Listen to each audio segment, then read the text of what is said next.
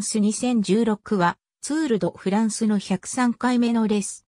ルモン・サン・ミシェルからスタートし、途中スペイン、アンドラ、スイスを経て、パリにゴールする 3529km のコースで2016年7月2日から7月24日まで行われた。コースプレゼンテーションは2015年10月20日にパレデコングレドパリで行われた。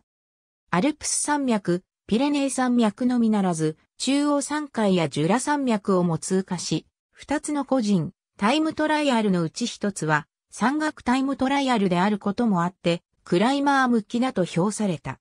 第一ステージは、西洋の脅威と称されるルモン・サン・ミシェルからスタート。華やかな空気とは反対に、途中で優勝候補の一角、アルベルト・コンタドールが中央分離帯に激突し落ち者。幸い骨折は免れたものの、この落ち者が後のステージで影響することになる。ゴールスプリントではマーク・カベンディッシュが勝利し、初のマイを上流獲得。翌日は、上りスプリントでベーター・サガンが優勝し、マイを上流ダッシュ。続く第3ステージでは、カベンディッシュが僅差でアンドレ・グライペルを抑え優勝。第4ステージでは、マルセル・キッテルがブリアン・コカールとの勝負を制して優勝。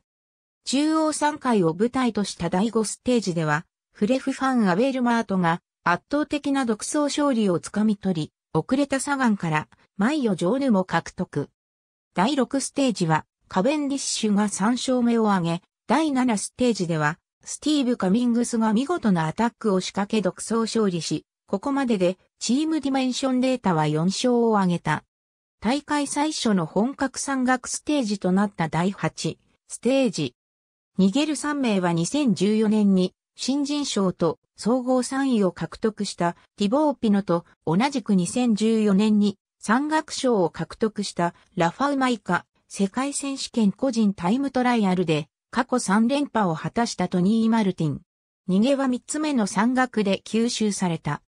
その後、ラストのペールスルド峠の頂上付近でアタックを仕掛けた前年大会王者のクリス・フルームが見事なダウンヒルを見せて独走。ここで大本命にマイオが移る。続く第9ステージではコンタドールが途中棄権。コンタドールがツールを去って残念だとレース後に語ったフルームはアンドラ・アルカリスへの頂上フィニッシュでも危なげなく首位をキープ。ステージはトム・デュムランが優勝。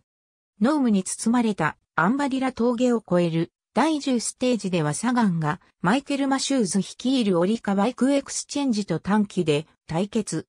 ルーク・ダーブリッジの猛烈な牽引、ダリル・インピーの4回にも及ぶアタックでサガンは消耗し、スプリントでマシューズが初のツールステージ優勝を飾った。翌日に行われた第11ステージでは、欧風区間でサガンがチームメイトのマチエー・ボドナルを引き連れアタック。これに、マイヨのフルームと、フルームのチームメイトであるゲラント・トーマスが合流。全員のタイムトライアル能力の高さが、後続集団の追走力を上回り逃げ切りに成功。サガンがスプリントを制した。魔の山門バントへの頂上フィニッシュとなった第12ステージ。欧風の影響でコースは 6km 短縮。結果的にこれが後に波乱を呼んだ。逃げ集団は、上りで大半が脱落。その中で生き残ったトーマス・デ・ヘントがセルジュ・パウエルスらとのステージ争いを制し優勝。メイン集団からはフルームがアタック。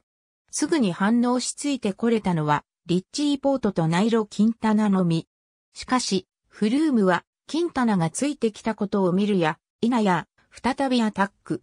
これでキンタナがちぎれてしまう。代わって、バウケモレマが追走し合流。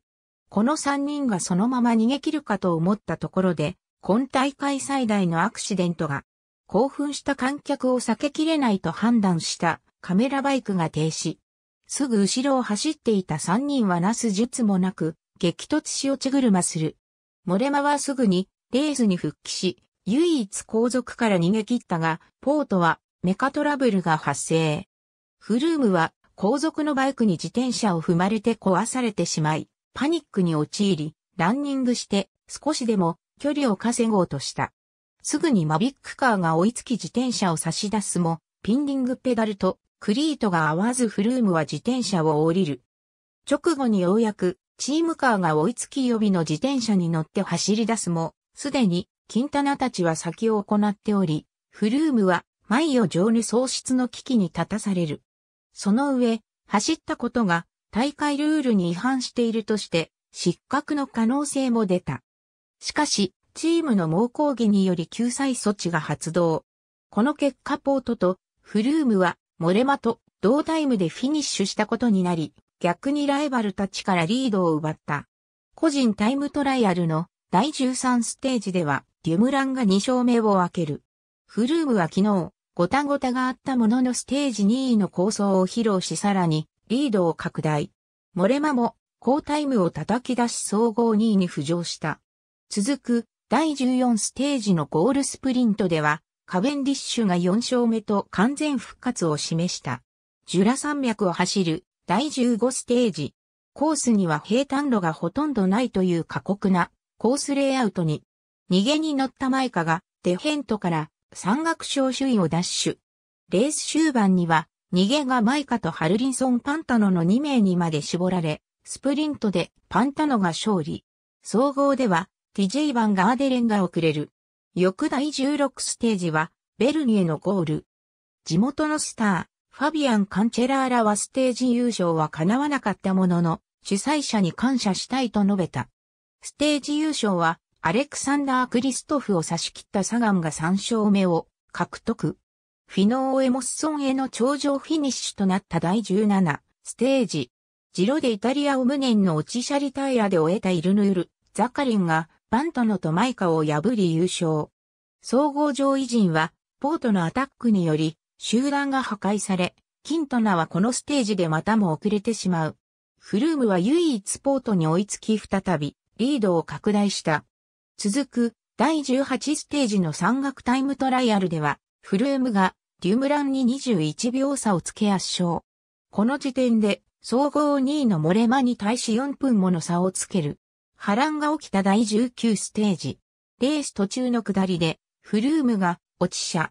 幸いすぐにレースに復帰したが、この影響でレース最終盤で遅れる。下りで抜け出した総合5位、ロマン・バルデが、今大会待ちに待ったフランス人初勝利。大きく遅れたモレマに代わり総合2位へジャンプアップ。翌第20ステージでは、ファビオ・アルがハンガーノックにかかり大きく交代。総合は特に変化はなく、このステージで事実上フルームの2連覇が確定。ステージは雨の長級山岳樹、プラヌ峠のダウンヒルを攻めた4イサギレが優勝した。最終、第21ステージは、グライペルがようやく勝利。フルームが2連覇3回目の総合優勝を果たした。ペーター・サガン。ありがとうございます。